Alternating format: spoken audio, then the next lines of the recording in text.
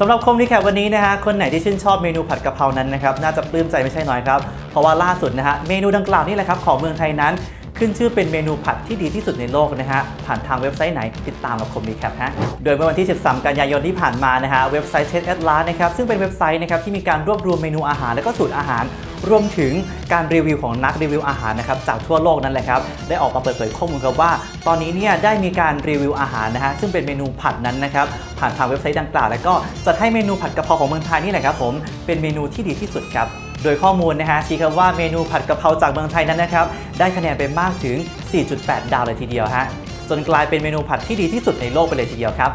นอกจากนี้นะฮะทางเพจนั้นมีการพูดถึงเมนูนี้อีกครับว่า เป็นอาหารจานเดียวที่ชาวต่างชาตินั้นสั่งมากที่สุดในประเทศไทย นอกจากนี้นะครับยังบอกถึงวัตถุดิบเกี่ยวกับเมนูผัดกะเพรานี้ด้วยครับว่า ประกอบไปด้วย เนื้อสับหรืออาหารทะเล ใบกะเพรา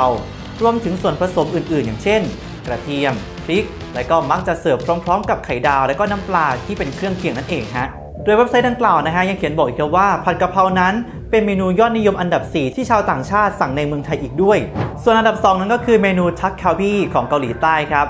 ซึ่งได้คะแนนมากถึง 4.7 ดาวถือว่าสูสีกันเลยครับ ซึ่งนอกจากเมนูผัดกะเพรานะครับที่ติดอันดับอาหารจานผัดที่ดีที่สุดในโลกแล้ว ยังมีอาหารไทยอีกหลากหลายเมนูครับที่ติดอันดับด้วยฮะไม่ว่าจะเป็นผัดไทยครับอยู่ที่อันดับ8ฮะได้คะแนนไปมากถึง 4.4 ดาว ผัดซีอิ๊วครับอันดับ 19 ได้คะแนน 4.3 ดาว แล้วก็คั่วกิ้งครับ ได้อันดับที่ 23 ด้วยคะแนน 4.2 ดาวครับ และนอกจากนี้นะครับ ยังมีไก่ผัดเม็ดมะม่วงหิมพานต์ที่อยู่อันดับ 44 ด้วยคะแนน 3.7 ดาวด้วยครับ โอ้โหสำหรับผัดกะเพรานั้นนะฮะ เรียกว่าไม่ธรรมดาเลยจริงๆครับผม ถูกจัดเป็นเมนูอาหารผัดที่ดีที่สุดในโลกขนาดนี้นะครับ คนไหนที่ด้อยค่าเขานะฮะ ว่าเป็นเมนูสิ้นคิดนะครับ ก็ต้องกลับมาคิดใหม่กันแล้วครับ เรื่องไม่คมพี่ฝีไม่พูดครับ